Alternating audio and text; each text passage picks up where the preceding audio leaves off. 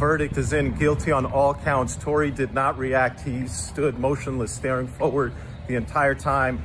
They polled the jurors to make sure that what everybody was saying was in fact guilty. They went through one, two, three, four, five to 12. Every single person said guilty. Tory was taken into custody, remanded into custody. No bond at this time. Sentencing is set for January 27th. Guilty on all three counts.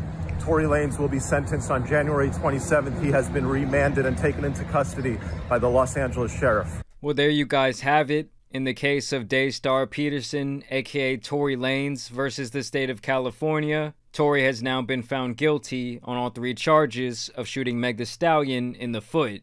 And for those of you who haven't been following this court case as closely as I have, let me kind of just break down this story for you based on the witness testimony and based on what everyone's been saying for the last two years while they've been waiting for this to go to trial. So to really understand this story, you have to go all the way back to the summer of 2020. Meg Thee Stallion and Tory Lanez are both equally coming up in the music scene very quickly, they're garnishing a lot of fans, they're getting a lot of mainstream attention, and all of a sudden they start being pictured together everywhere they go. A lot of people start to assume they're romantically involved. But then that all came crashing down on that summer night in 2020 when Meg Thee Stallion was chilling at Kylie Jenner's house, she tells Tory Lanez to come on over, come hang out. Something goes down there at that Kardashian mansion. Meg Thee Stallion, her best friend Kelsey Harris, and Tory Lanez all decide to dip out. They're driving in this car. It's safe to assume that the three of them were all pretty drunk. They start fighting about something. Meg Thee Stallion wants to get out the car. As the way was told in court, they all start fighting and are basically causing a scene outside this vehicle. And as they found it in court today, apparently Tory reaches over the top of the car door, boom, boom, boom, boom, boom, fires five shots, with some of them hitting Meg Thee Stallion in the feet. And this was the popular narrative when this initially happened, but over the next couple of years, Tory would come out and seemingly try and clear his name, saying that he was being blackballed by the industry, and saying that he was essentially in a Who Framed Roger Rabbit type of situation. Now I want to take a moment to get more into the details of what the witnesses said, what went down during the course of the last two weeks of this trial, and why I feel like we're treading some murky waters here with this court case. Okay, so Tory was convicted of three felony accounts. Assault with a semi-automatic handgun, carrying a loaded, unregistered firearm in a vehicle, and for basically shooting the gun. For being found guilty of these three crimes, he's now facing up to 20 years in prison, and of course could be deported back to Canada.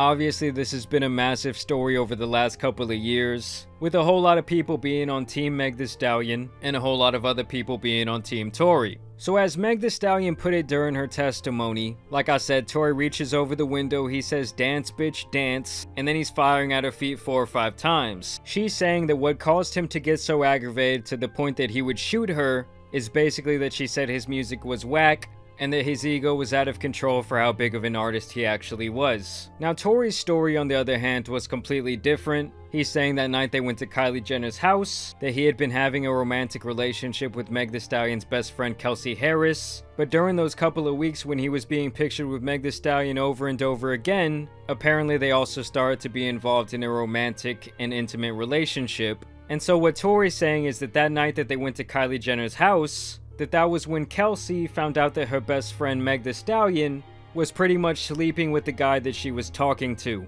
The way Tory tells it is that this resulted in a fight between the two women, and so they wanted to leave the party, and also that Kylie Jenner at that point was like, oh, y'all gotta get the fuck out of my house. And what he's saying is they left that party, the two women continue arguing in the car, to the point where Meg Thee Stallion wants to get out of the car. Tory's defense team then says that Kelsey took the gun from the car, which belonged to Tory Lanez, started shooting at Meg Thee Stallion while she was turned around. They say that's when Tory came in, he starts trying to grab the gun from Kelsey, they start having this struggle, and then once he gets the gun from her, he shoots up in the air, boom, boom, boom, boom, boom, boom, five times just to kind of try and diffuse the situation. While this whole situation was going down, there was really only one other eyewitness that I would consider to be impartial. It was this random person out on their balcony that night, and basically when that person recounted this whole situation, they say that they are woken up by a loud fight going on in the middle of the street between two women, who we can assume to be Meg Thee Stallion and Kelsey Harris, her best friend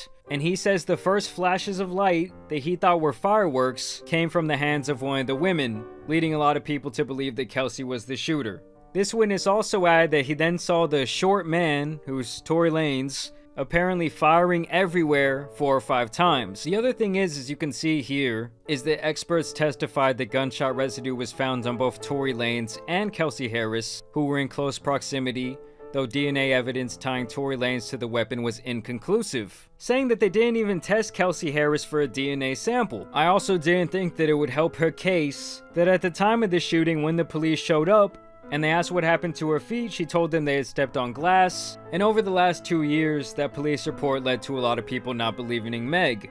But her prosecution team says that in her defense, the reason that she lied to the police that day was because she didn't want to be a snitch, and that snitching is frowned upon in the hip hop community, which she identified as a boys' club. They also talked about during the trial how in Meg Thee Stallion's interview with Gayle King, she lied about not having relations with Tory Lanez, and what she has to say about the reason she lied about that is that she lied because it was disgusting, adding, How could I share my body with someone who could shoot me? But like I said, we have to respect the process. Do I think that the general public will ever know exactly what happened that night? Absolutely not. But at this point, he has been found guilty. Y'all let me know what you guys think about the verdict down below. If there's any more updates in this situation, which I'm sure there will be, I will continue to update you guys here on my channel. I want to thank you guys for watching today's video, dropping a like. Really seems like the end of Tory Lanez. Y'all let me know. It's been your boy Tan Superman, and I'm out. Peace!